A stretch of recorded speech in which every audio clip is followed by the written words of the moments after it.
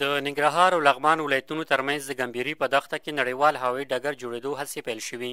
هغه چې له کلونو راهیسې ورته د ختیځو ولایتونو خلک په تمه وو له دې تمې سره سره هم کارونه د سروې شوي ځای خلاف روان دي دغلته کار د نقشې خلاف او له خپل ټاکل شوي ځای شپږ کیلومتر لرې بله ساحه کې روان دي که څه هم تمې شته چې د هوایي ډګر په رغېدو به د ګمبیري دا دښته آباده او په یو سوداګریز ځای هم بدل شي خو پوښتنې دا دي چې ولې چارې د پلان خلاف روانې دي؟ د ننګرهار د هوایي چلن اداري امر رحمت الله شجاع وایي، د هوایي ډګر پروژه کې هېڅ ستونزه نشته، خو پخوانی ځای د کرنې وزارت پلاني ځای و چې هم یې پکې د کانالونو جوړېدو او هم یې د زراعتي ساحې رامنځته کېدو پلان جوړ کړی و، نو ځکه یې چارې له پخواني نومړۍ نقطې شپږ کیلومتره او له اخري نقطې دوه کیلومتر لرې پیل شوي دي. د معلوماتو له مخې د هوایي ډګر جوړېدو چارې به په درېیو کټګوریو کې بشپړ شي، چې اوس یې نومړۍ مرحله د احاطې دیوال، میلمستون او امنیتي ټاورونو او ځینو برخو جوړېدو کارونه روان دي.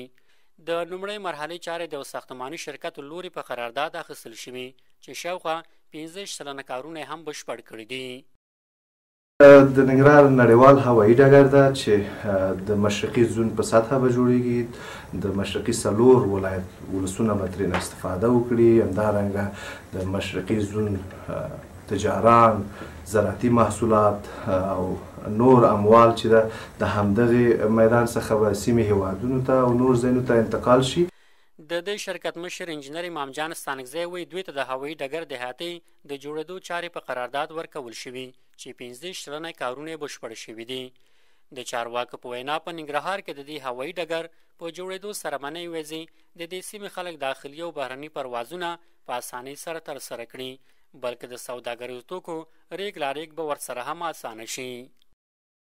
او دغه پروژه چې لومړی پړاو یا لومړی مرحله شروع شوې چې هغه د احاطې د دیوال مرحله ده چې په دې کې تقریبا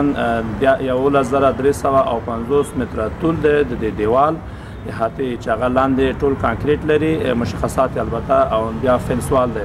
دې کې شپاړس ګارډ ټاور دي یو د نکوې دی نور د ساحې هموارکاري ده د دې پروژې قیمت تقریبا نهه اویا اعشاریه نهه میلیونه افغانۍ دی. د ننګرهار د هوایي چلن ادارې امر رحمت الله شجاع وایي، دې ډګر په جوړېدو سره به د ختیځو ولایتونو سوداګر وکولی شي چې وچه میوه او نور محصولات په اسانۍ سره بهرنیو هېوادونو ته ولېږدوي. د ننګرهار یو شمېر خلکو ځکه په دغه ځای کې د هوایي ډګر جوړېدو سره غبرګون وښود چې ته مو پر کونړ سیند د بند جوړېدو سره پر دغه دښته د اوبو کانال تېر او یو زراعتي ساحه هم ورسره رامنځته شي.